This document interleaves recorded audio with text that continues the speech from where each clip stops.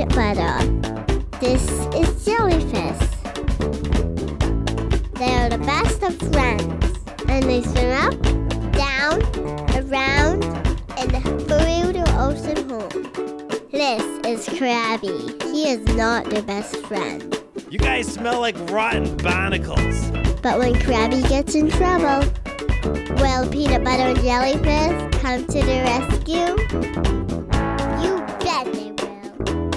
peanut butter and jellyfish. A new picture book by Jarrett J. Krosoczka. Learn more about Jarrett's books at studiojjk.com.